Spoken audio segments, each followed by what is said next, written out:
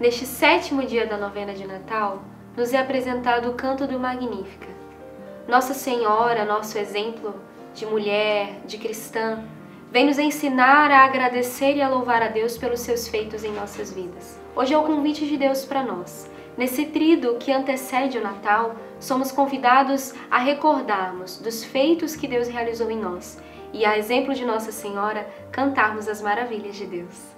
Neste sétimo dia, que a gente possa continuar preparando o nosso presépio. A gente já colocou a imagem da Virgem Maria, já colocou, colocou a imagem de São José, do estábulo, já colocamos as imagens dos pastores. Hoje eu convido você a colocar a imagem da ovelha, para que ela simbolize aí o louvor, né? Para que você possa louvar e bendizer a Deus. Também o gesto concreto é o seu louvor, agradecer a Deus pela sua vida, pelo seu trabalho, pela sua família, e que aí no ambiente que você está, você possa demonstrar isso concretamente. Olhar para alguém e dizer muito obrigado. É esse gesto de agradecer, é um agradecimento. Obrigado, mãe, por ter me dado a vida. Obrigado, pai, por ter sustentado a minha casa. Obrigado, vó, avô. Obrigado, tio, primo, enfim. Quem está aí com você? É hora de agradecer. E se você olha para o lado e não tem ninguém, vamos ligar. Vamos fazer uma chamada de vídeo. Vamos agradecer. Agradecer, agradecer e agradecer.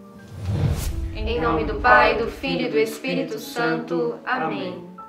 Maria, Virgem grávida, mulher de Deus, Virgem do sim fecundo, tu que fecundaste ao Verbo de Deus e o levaste em teu seio durante nove meses, sentindo-o palpitar e crescer dentro de ti, experimentando sua presença e sendo transformada por ele. Nestes dias que antecedem ao nascimento de teu filho, nós queremos acompanhar-te, queremos estar contigo para aprender de ti a levar Deus no coração e deixarmos-nos transformar por sua presença. Maria, Virgem grávida, nós te pedimos que ao acompanhar-te, sejas tu quem interceda por cada um de nós, para que possamos celebrar o Natal cheios da presença de teu Filho em nossa vida. Maria, Virgem Mãe, mulher da espera confiada, pede por nós, para que neste Natal todos possamos ficar mais perto de seu Filho e assim sermos capazes de recomeçar, de perdoar e sermos perdoados, de voltar a amar e sermos curados interiormente para celebrar e viver a vida de Deus em nós.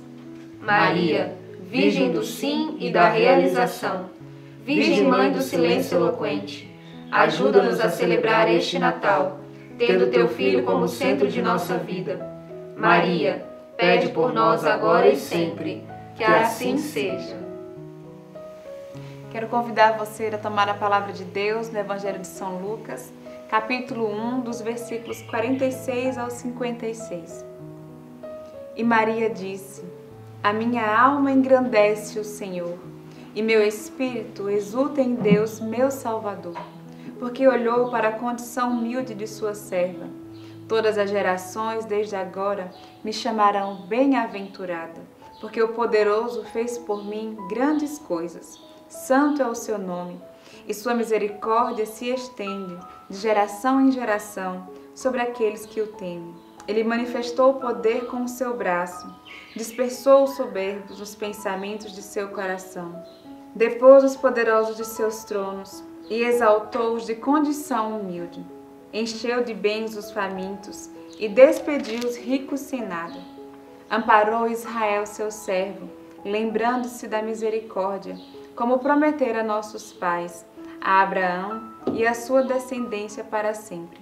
Maria ficou três meses com Isabel e depois voltou para sua casa.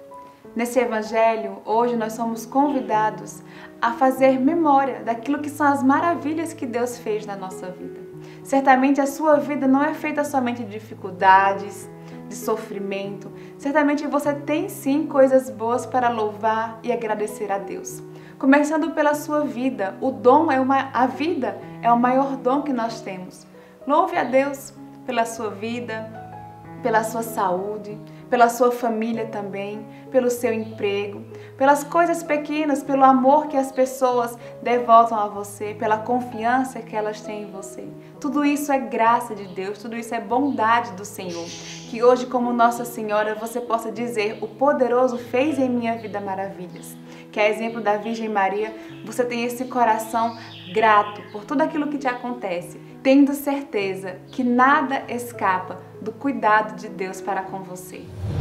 Senhor Jesus, tua mãe soube reconhecer e manifestar a tua presença nela e na história, e por ter tido a sensibilidade de nos relatar como tu atuas, o que te agradas, quem são os teus privilegiados.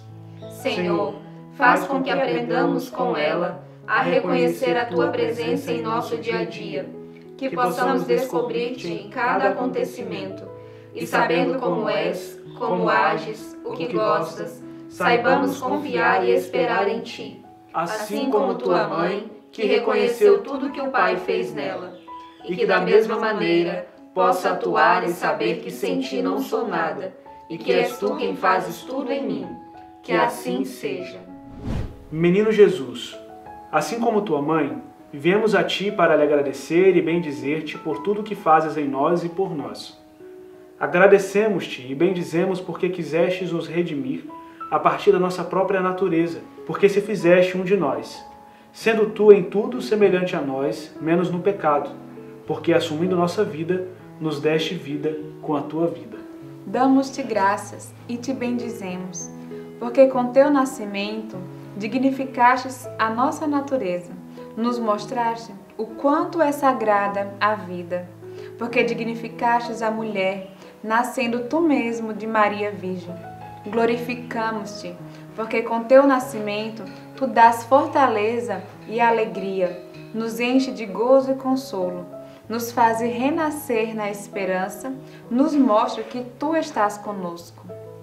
Bendito e louvado sejas, porque és o Deus que vive e nos dá a vida, que nos conhece por dentro e nos enche de amor.